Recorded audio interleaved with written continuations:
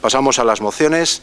Ayer en la Junta de Portavoces, por parte de los grupos políticos, hubo una moción presentada por el Grupo Popular, a la cual también se alinearon los dos grupos políticos de la oposición, y también una declaración institucional. Por tanto, eh, empezamos con la moción. Tiene la palabra la portavoz Ascensión Pérez.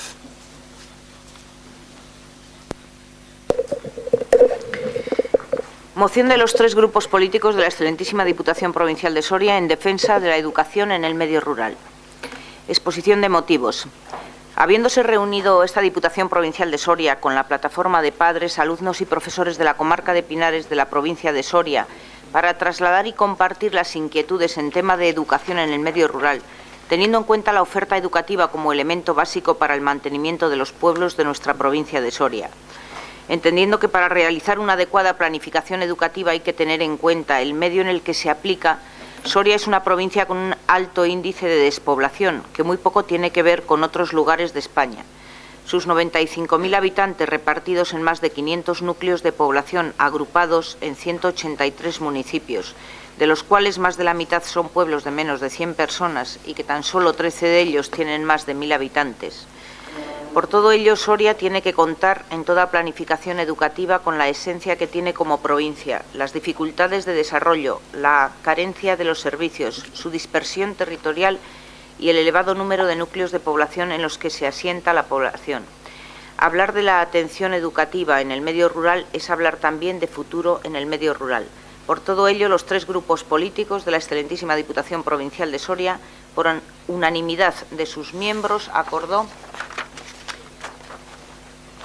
instar a la Junta de Castilla y León a mantener la oferta educativa actual en el medio rural como forma imprescindible para garantizar la cohesión social y territorial de la provincia, así como a estudiar alternativas para recuperar en el menor plazo posible los ciclos de enseñanza secundaria en la provincia.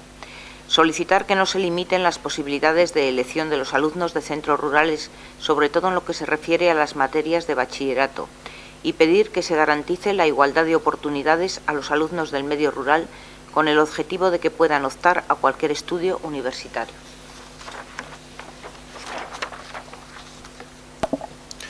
Bien. ¿Votamos la urgencia o queréis... ¿Votamos la urgencia primero? Venga. Votos a favor de la urgencia. Se incluye. ¿Quieres... Eh, pasamos un poco a opinar sobre la, la moción? La palabra. Sí, vale. voy a ser muy breve porque llevamos ya bastante rato con los diferentes temas. Eh, la moción, eh, cuando nos la presentaron ayer, pues eh, nos pareció en principio correcta. Echamos de menos cosas. De hecho, bueno, lo que se ha añadido es la de buscar alternativas. Creemos, francamente, que, es importante que la aprobemos entre todos y que salga por unanimidad y por eso vamos a, por supuesto, a apoyarla, como se ha dicho. Eh, y es importante el matiz de que no queremos lo que tenemos ahora, sino lo que teníamos a principio de legislatura, porque los recortes han sido muchos y van a ser siendo muchos.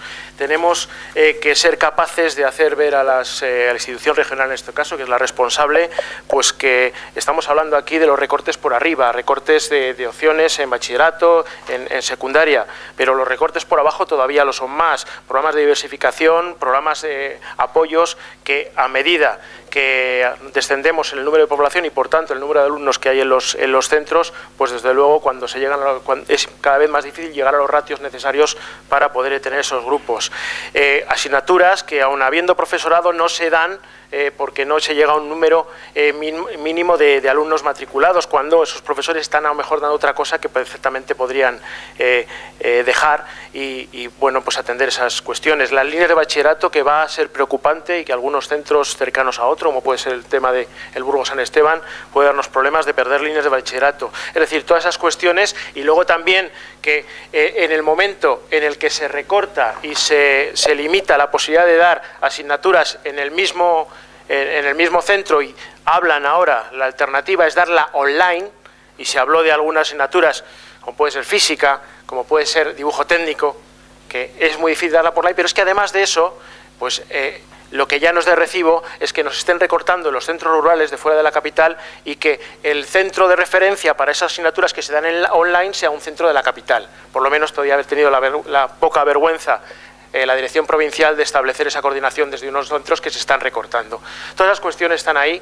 Vamos a apoyar la moción, por supuesto, pero hay mucho que hacer y creemos que, desde luego, eh, es muy importante eh, hacerle llegar esta, esta moción, pero no de, por correo, sino de la mano de la mano para decirle todo lo que queremos y todo lo que vamos a tener que, perder si sigue manteniendo los ratios porque la situación es complicada. Gracias, señor Núñez. Tiene la, la palabra la portavoz del Partido Popular. Sí, nada, simplemente alguna cuestión. Por ejemplo, la poca vergüenza de la dirección provincial. Hombre, yo creo que no es de recibo eso porque, como usted eh, sabe, lo que aplica la dirección provincial es la ley que está en vigor. Y la ley que está en vigor pues no deja de ser la ley, la LOE, anteriormente la LOCE del Partido Socialista. Con lo cual, lo que hace la dirección provincial es aplicar los ratios que esa ley tiene. Al margen de todo eso, que yo creo que no era la cuestión la cuestión es que los representantes públicos tenemos que defender los intereses de esta provincia, contando con eso que hemos dicho tantas veces, su singularidad, sus características, pues una vez más vamos a hacerlo, porque es nuestra obligación y así entendemos como tal. Y efectivamente, para dar esa posibilidad de los alumnos que tienen los alumnos en el medio rural y que sea equiparable a las posibilidades que tienen los alumnos de la ciudad. En cuanto a primaria, la verdad es que ya se tiene en cuenta la singularidad de Soria, las escuelas rurales, la ratio, si eh, tratamos el tema de educación primaria, porque con cuatro niños en esta provincia se mantiene abierta una escuela. En otras provincias igual tiene que ser a partir de diez.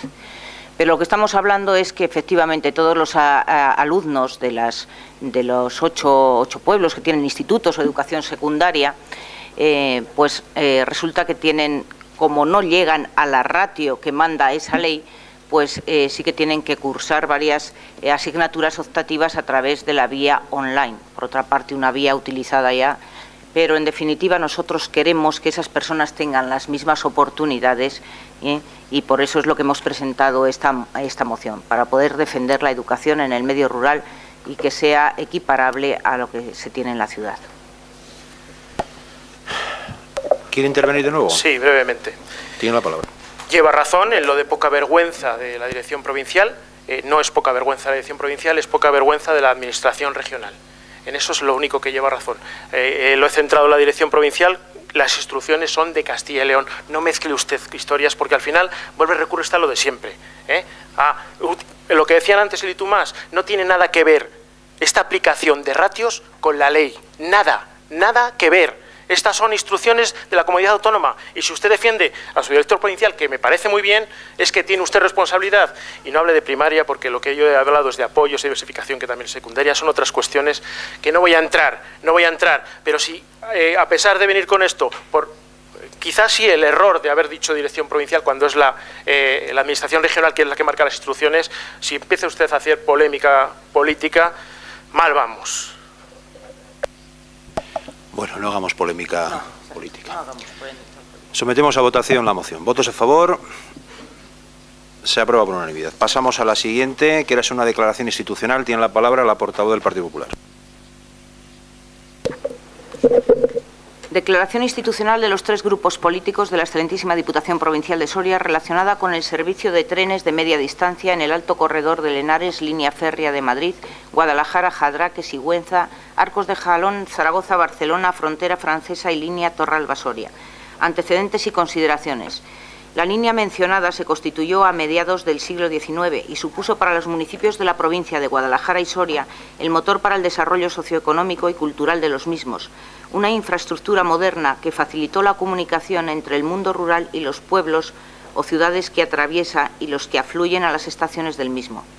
En los, años, en los años 2003 se constituyó la plataforma en defensa del ferrocarril convencional de Guadalajara y Soria, plataforma que está compuesta por los ayuntamientos, fuerzas políticas, partidos eh, sindicales, ecologistas y sociales de Guadalajara y Soria y provincia, y que hasta el día de la fecha ha mantenido su independencia y que nace con la finalidad de defender el servicio de trenes de media distancia y su importancia desde el punto de vista social. En el año 2010 todas las fuerzas políticas y la plataforma trasladaron al Gobierno de España la necesidad de declarar por razones de vertebración territorial y por razones sociales la circulación del servicio de trenes de media distancia en estas dos provincias y más allá como servicio público, garantizando así su mantenimiento. El pasado 21 de julio se publicó en el, BOE, el Real Decreto de 20 de julio por el que se adoptan medidas en materia de infraestructura y servicios ferroviarios. Este Real Decreto Ley contempla un marco de medidas que, ante la situación económica actual y para asegurar el cumplimiento del objetivo de estabilidad presupuestaria, trata de garantizar una gestión más eficiente de los servicios públicos del transporte por ferrocarril. Desde esta Diputación Provincial siempre hemos defendido y apoyado el servicio público de los trenes de media distancia como vertebrador de nuestra provincia, así como el desarrollo socioeconómico de las zonas rurales. Pero lo vamos a hacer también desde la defensa de la compatibilidad del servicio de estos trenes con un futuro corredor sostenible ferroviario de mercancías denominado corredor, corredor central.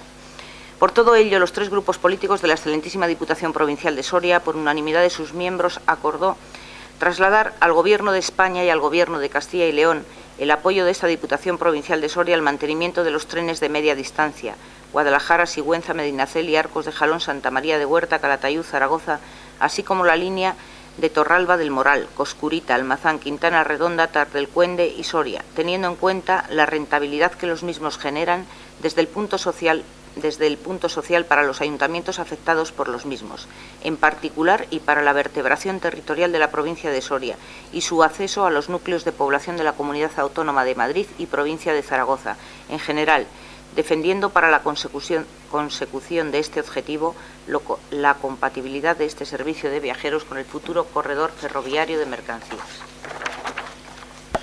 Bien. ¿Hay intervenciones o sometemos la urgencia? Votos a favor de la urgencia. Se aprueba unanimidad. Aparte de que era una declaración institucional, ¿alguna, ¿algún comentario quiere hacer? tiene la palabra.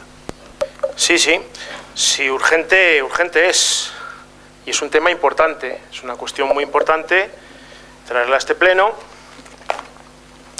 discutirla en este pleno y hablarla en este pleno.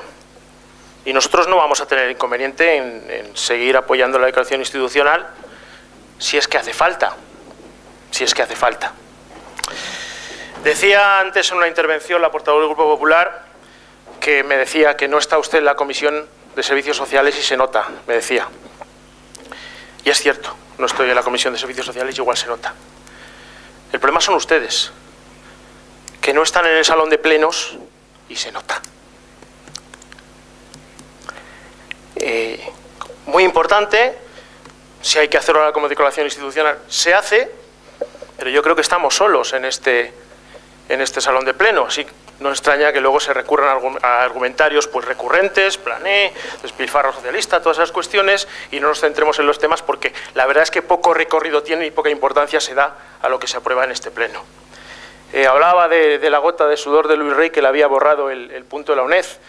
A ustedes les ha borrado las actas de los plenos y su presencia en estos plenos, porque es que esta moción, exactamente igual, está aprobada en diciembre del 2012.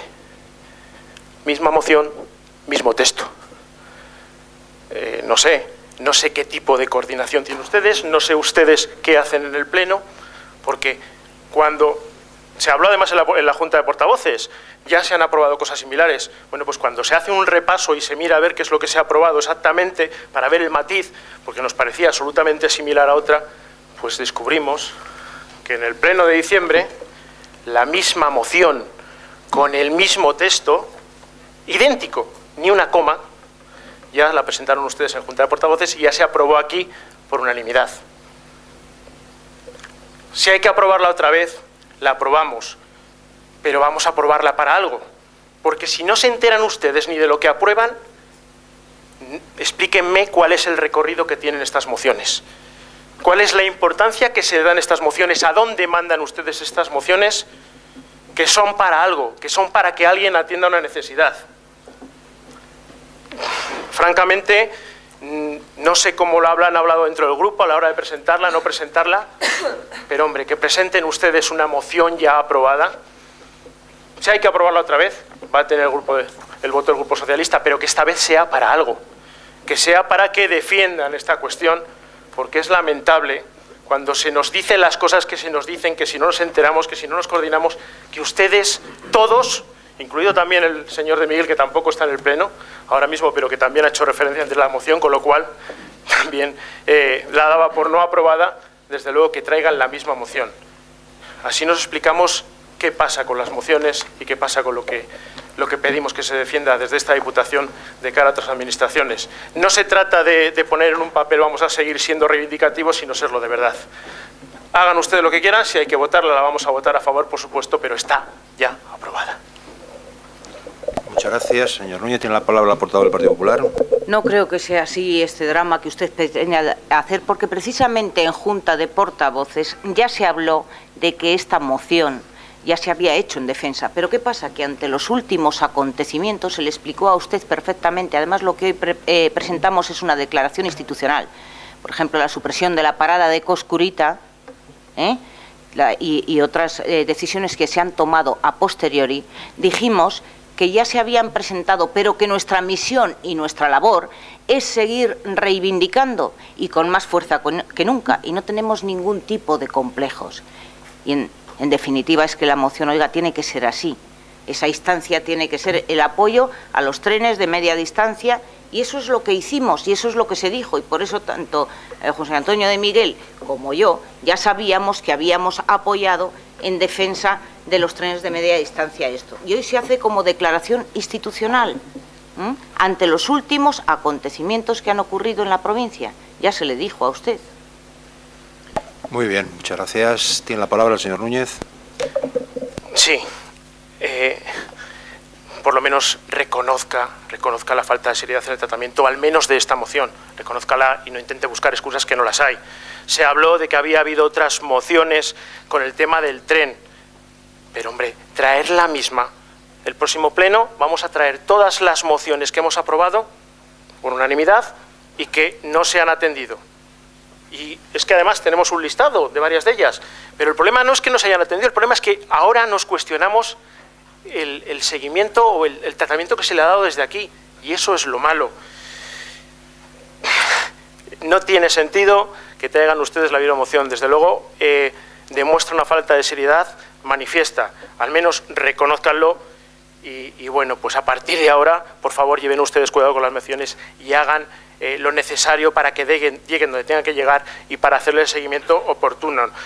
Eh, el texto es exactamente el mismo, exactamente con todas las comas y probablemente sea hasta la, misma una fotocopia de que se presentaron entonces, porque ahora las presentan con otro tipo de papel.